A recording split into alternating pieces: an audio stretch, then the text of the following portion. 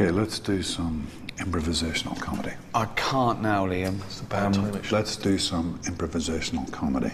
Now, Okay. give us a scenario. Warren. Um, right, okay. Uh, you're a hypochondriac and, and Ricky's a doctor. Excellent. Okay. Knock, knock. Come in. Hello. Oh no, not you again. I've never been here before. Sorry, I, I thought because you're a hypochondriac, you would have been to the doctors before. Don't presume that's a backstory we didn't agree on beforehand. No, I know.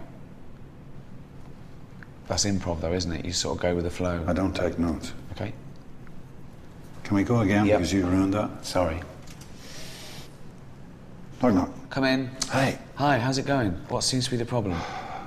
I've contracted AIDS How did you get that? from an African prostitute. I'm, I'm riddled with it. The prostitute's from an African country that's, that's ravaged by starvation, so. Selling her body was the only financial recourse she had left. Do you mind if I interject for a second? Sorry, I just think it's getting quite heavy, this sketch, and I just wonder if perhaps, just for the sake of comedy, you, you might not want to have contracted AIDS from a, an African prostitute. Just mm-hmm. Okay. Right. Knock, knock. Come in. Hi. Hi, what seems to be the problem? As I said before, I've got full blown AIDS. Right. Do you want to know how I got it? Sure. I'm a well known homosexual actor. Wow. Okay. It was. I wouldn't say the name just because of the. I got it from a non specific actor. Does he know he has AIDS? Who? Again, I just, sorry, I just wouldn't name them, um, and also I just think uh, AIDS is, as I said before, just a really heavy subject for comedy. Uh, okay. Mm-hmm. Uh, could have bowel cancer.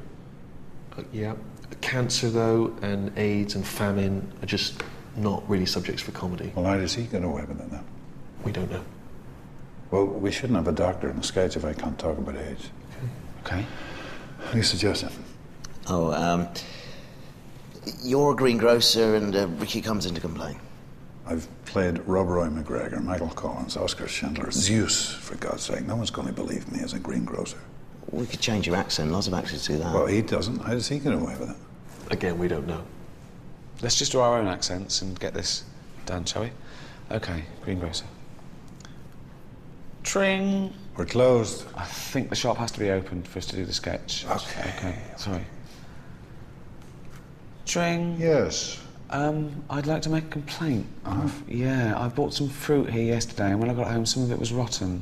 That's not my fault. Well, you know, it's your shop, and it was sold uh, on your premises, so Uh-uh. I wasn't here. uh, it doesn't matter. You know, you got I to. was at the doctor's. Okay, I've got AIDS. thought you might have.